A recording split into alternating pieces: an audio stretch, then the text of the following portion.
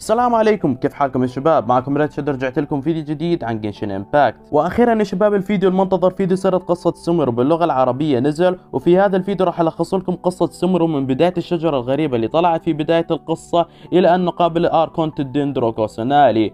ولكن في شيء حابين نتكلم عنه يا شباب قبل ما نبدأ بالمقطع؟ لا هذا مو إعلان لا تسوي skip أرجوك. هذا الشيء راح يعطيك 25 ريال إذا كملت وعرفت الشرح. طبعا يا شباب الفكرة بأنك تسجل بتطبيق تابي.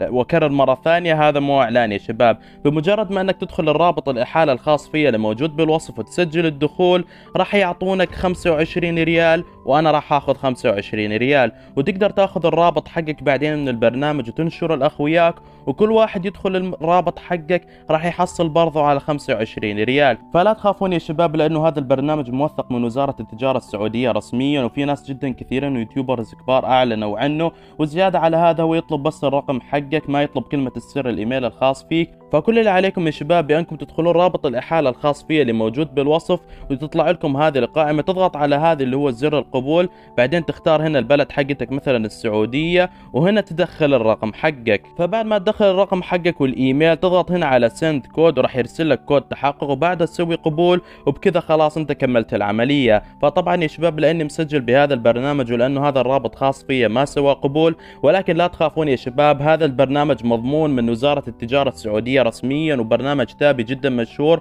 ومعروف بأنه يقسط لك على المتاجر. ولكن تخيل إنك في كل مرة ترسل الرابط لواحد من أخوياك راح تحصلون أنتم الاثنين 25 ريال. فاللي يبغى يشحن بجنشن لا يفوتك هذا البرنامج.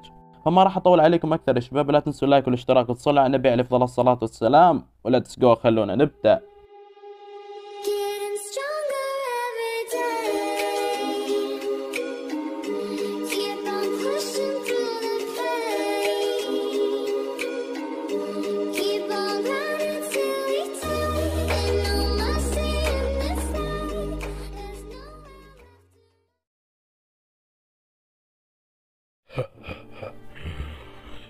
اسمي هو بوسيشس وقدري هو تقديم الطضع الأعظم.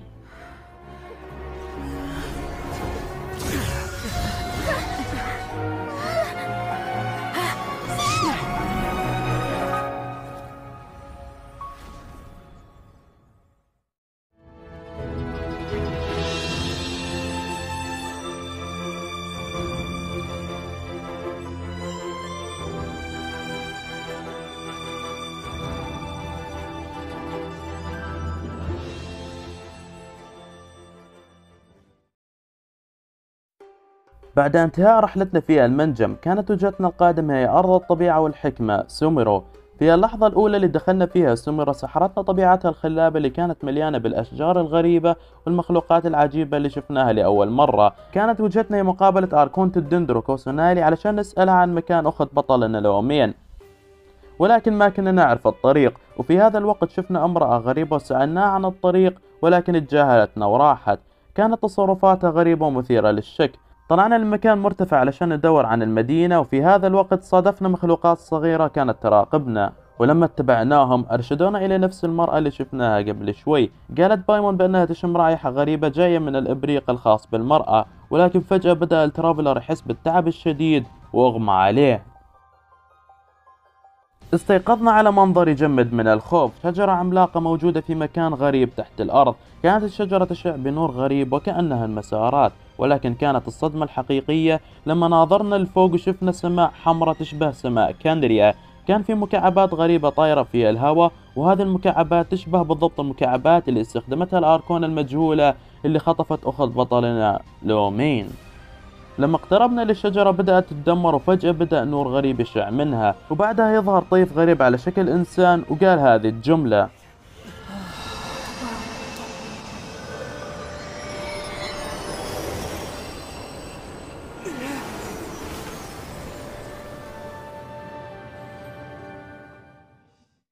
بعد فترة استيقظنا في بيت كولي وكانت هي من أنقذنا وجابنا إلى المخيم. جابت كولي الدواء بس طيحته بالغلط وفي شخص غريب سمع صوت الضوضاء واتضح أنه هذا الشخص هو تايناري حارس غابات سوميرو وقائد المخيم.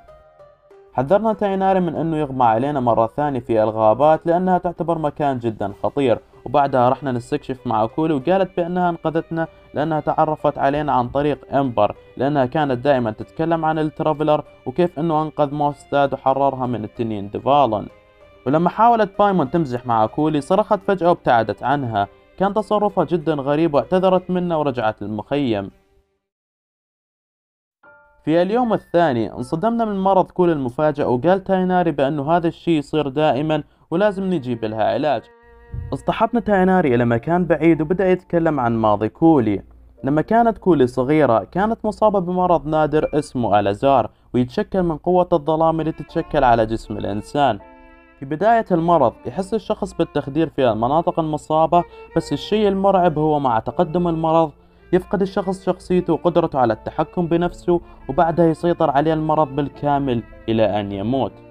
لهذا السبب تايناري دائما يمنع كولي من أنها تشيل أي شيء ثقيل أو أنها تجهد نفسها لأنه مرضها راح يزيد.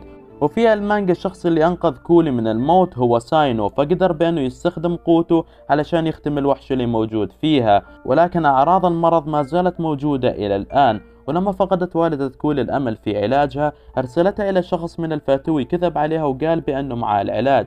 ولكن الشخص اللي أنقذ كولي في النهاية وجابها لتايناري هو شخص يلقب نفسه بالدكتور وهو ال Harbinger المريض دوتوري اللي يسوي تجارب على الصغار والكبار ومستعد يضحي حتى بنفسه لسبيل نجاح تجاربه. وقال تايناري بأنه تجربة كولي مع الفتوي كانت أبشع ما يكون. فهي ما قالت إيش سوى فيها دوتوري ولكن صار عندها خوف من أي شخص يحاول لمسها. ولكن الأغرب من كل هذا ليه؟ ليه دوتوري يساعد كولي وجابها لتايناري مع أنها تعتبر فأر تجارب مثالي له والتجارب المريضة؟ طلعنا في رحلة استكشافية مع تايناري علشان ندور علاج أو عن نبتة معينة نصنع منها العلاج الخاص بكولي. ولكن فجأة يظهر اثنين من مساعدين تايناري وقالوا بأنه التلوث رجع مرة ثانية. الأشخاص العاديين ما عندهم القدرة بأنهم يدخلون على المناطق الملوثة لأنه ما عندهم Vision. ولكن إيثر شخص مميز فهو يقدر يستخدم قوة العناصر بدون ال Vision فما راح يأثر عليه التلوث ولكن السؤال الحقيقي هنا ماذا عن بايمون؟ هل هي بشري عادي ولا ملاك سحري؟ فهي دخلت معانا إلى منطقة التلوث بدون ما تتضرر أو يصير فيها أي شيء. هزمنا الوحوش الموجودة في منطقة التلوث ودمرنا الكريستالة المسؤولة عن التلوث. كانت الكريستالة تشبه الأشياء الموجودة في ال Dragonspine أو المنطقة الثلجية وكأنه دم التنين الملوث أثر على كل تيفات. لكن تايناري قال بأنه هذا الشيء بدأ قبل 500 عام. فمن يوم ما صارت حادثة كانريا والتلوث بدأ يزيد في الفترة الأخيرة. وفي كل مرة يطهرون منطقة من التلوث تتلوث منطقة ثانية. وواجب تايناري هو تطهير كل هذه المناطق. رجعنا للمخيم وجتنا رسالة استغاثة من هابيشا وسألنا تايناري عن صحتنا وقال Traveler بأنه بدأ يتحسن. وتكلم تايناري عن الرؤية اللي شافها ال Traveler لما أغمى عليه وقال تايناري بأنه كذب علينا وهذه مو مجرد هلوسات. فهذه الرؤية مهمة جدا لسومرو ولكل تيفات لأنها اتصال مباشر مع روح من القديمة. وإذا نريد إجابة أوضح فلازم نروح لهابيشا لأن وظيفته هي التأمل والتواصل مع روح أرمين لما وصلنا للكهف افترقنا وبدأنا ندور عن هابيشا وفجأة شفنا كائن غريب وبعدها اختفى فجأة. لقينا هابيشا وكانت حالتها جدا سيئة وتحتاج إلى ماء بسرعة. وطلعنا من الكهف ندور على مياه وكانت هنا الصدمة. المكان تغير بالكامل وتحول إلى مكان غريب وكأننا بداخل شجرة أو وردة عملاقة. ولما مشينا شوي فجأة يتغير المكان إلى بيت مهجور في إنازوما. وبعدها يرجعنا مرة ثانية إلى سوميرو والمكان كان جدا غريب وكأننا في وهم. ولكن الصدمات ما تنتهي. فجأة يظهر مبعوث الهاوية للمرة الثانية وكان واقف بدون أي حراك وكأنه كان ينتظرنا. وبعد ما هزمناه في قتال جدا طويل بدأ يتكلم كلام غريب وقال حسنا حسنا حسنا. انظروا من عاد أيها المسافر. على الرغم من أنك اجتزت عددا لا يحصى من الأزمات كان من المحتم أن حظك السعيد سينتهي في يوم من الأيام. قد حان الوقت لتدرك مدى ضعفك وعجزك. أختك مثير للشفقة. أيها المسافر السخيف هل أنت جاهل أم أحمق؟ ولربما الاثنين. سموها قد تخلت عنك منذ زمن طويل. وجودك الضئيل في عينيها عبارة عن حشرة مزعجة. إن رابطة العائلة التي بينكم قد اختفت منذ وقت طويل. رحلتك بأكملها لا معنى لها ولكن لا تقلق سوف أنهي معاناتك هنا وفي هذا المكان. بعد هزيمتنا لمبعوث الهاوية رجعنا للكهف اللي فيه أبيشة وكان حولها فواكه وكأنه في شخص ساعدها قبل ما نجي. قالت أبيشة بأنه هذه الفواكه من جيرانها الصغار وهو نفس المخلوق اللي شفناه قبل شوي. اتضح أنه هذه المخلوقات هي اللي أدخلتنا بالحلم الغريب اللي شفنا فيه مبعوث الهاوية علشان يوفرون وقت لمساعدة أبيشة ويهربون. قالت هبيشة بأنها قدرت تشوف هذه المخلوقات بعد ما شافت نفس الحلم اللي شافه إيثر لما شاف الشجرة العملاقة تحت الأرض واللي كانت تتكلم وتقول العالم نساني. ولكن الأغرب من كل هذا كيف بايمون قدرت تشوف هذه المخلوقات وهي ما حلمت بالشجرة العملاقة. الشكوك حول بايمون في تزايد مع كل تحديث. قالت هبيشة إنه في سمر وبس الأطفال يحلمون وأما بالنسبة للكبار فهم يعتبرون الأحلام شيء طفولي وبعيد عن المنطق ويعتبرون هذا الشيء نعمة من ال Archon السابقة روكاديفاتا لأنه الأحلام ممكن تأثر على مشاعر الشخص وأفكاره. رجعنا للمخيم ولقينا تايناري يتكلم مع رؤساء الأكاديمية وعرضوا عليه بأنه ينضم معاهم للأكاديمية علشان يساعدهم في الأبحاث الخاصة بروح آرمين. لكن تايناري رفض لأنه مشغول بحماية الغابة ولأنهم ما أعطوه إجابة واضحة عن سؤاله. بعدها تكلم تايناري عن جهاز اسمه أكاشا وهو جهاز صنعته ال Archon القديمة يلبس على الإذن وقال بأنه الأكاديمية في نفس مدينة سوميرو راح يعطونا واحد من هذه الأجهزة وراح يعلمونا طريقة استخدامه.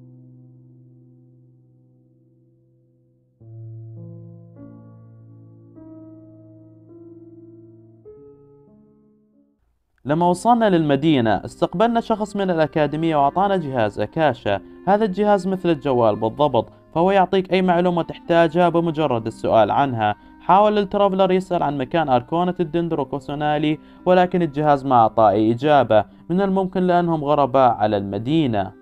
رحنا علشان نقابل رهاوي وسألناه عن طريقة مقابلة كوسونالي ولما استخدم الجهاز الخاص فيه ما كان فيه أي إجابة مع أنه شخص عايش في سمرو الا أنه معرفته محدودة. وبالنسبة للأركونا كوسونالي فقال بأنه ما حد شافه إلى يومنا هذا وما طلعت العلن ابدا. فرحنا للشخص اللي يعرف كل شيء تقريبا عن تيفات وهي كاثرين. ولكن الصدمة أنه حتى كاثرين ما كانت تعرف طريقة مقابلة كوسونالي. وأرسلتنا إلى شخص اسمه آسفوند وهو أحد المستشارين الثلاثين. وعنده خبرة كبيرة بجمع المعلومات وممكن يساعدنا.